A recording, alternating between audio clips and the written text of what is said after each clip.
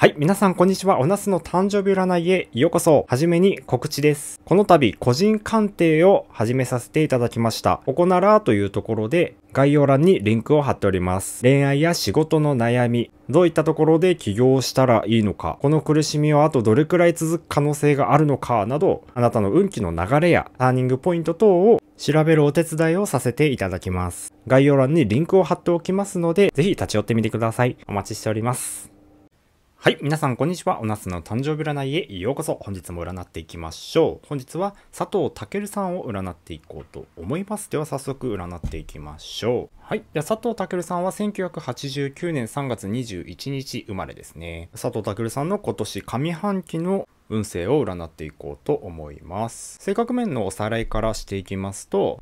かなり真面目でコツコツタイプです。で、一つのことに集中すると、とてつもない力を発揮することがあります。で、仕事はしっかりとできるタイプです。で誰からでも愛されやすいですし、この環境でも力を発揮できるようなタイプと言えることができます。で、去年の運気なんですが、まあ、去年は体調面で気をつけていただきたい。まあ、自己管理をしっかりしなきゃいけない年だよということをお伝えしましたが、まあ、そこは難なくクリアしていただけたのかなという印象でしたね。今年に入りまして、ここ12年で一番いい運気になってきます。で、結婚するタイミングは今年がベストです。なので今年何らかの発表交際宣言等がもしかするとあるかもしれませんね。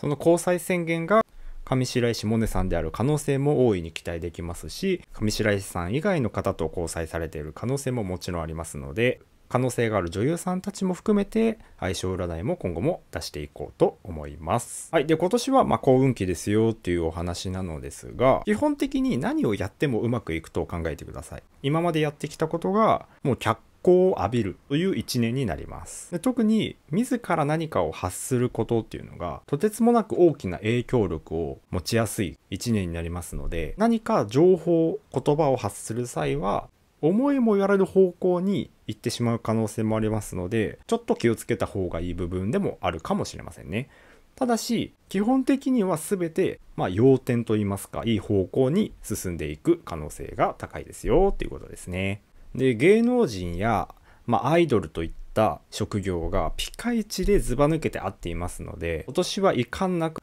才能が発揮される一年だと思います。とても楽しみですね。佐藤健さんが求める配偶者像をおさらいしていきますと佐藤健さんは何か一つに没頭しているタイプ、まあ、集中して、まあ、エキスパートに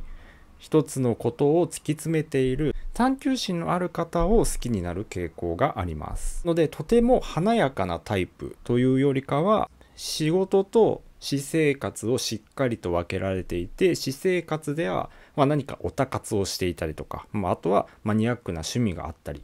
趣味等がなければ仕事でもう一つのことを極めているタイプを好きになる傾向にありますので何かに対して長く携わっているものがある方というのをピックアップしていくとあこの人可能性あるんじゃないかなというのが見えてくるかもしれませんね。で大きな運勢で見ますと今年まで非常に誰からでも愛される佐藤さんは色っぽくて男性女性問わず誰からでもモテるタイプなんですがそれが拍車がかかっている10年間っていうのが今年で一旦終わります。で、来年以降というのは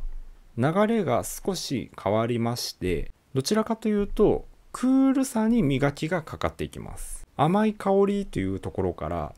だんだんクールな大人びた雰囲気っていうのがさらに助長していきますので、よりダンディーな俳優さんに成長していくっていうことが考えられますね。今年は1年何をやってもいい流れになりやすいので余計な一言で誰かを傷つけるということだけ気をつければほとんどうまくいくと思いますので今後も頑張っていってほしいですね。はい。で、このようにですね、今後も占っていこうと思います。行動画が良かったなと思う方はチャンネル登録、グッドボタンよろしくお願いいたします。それではまた。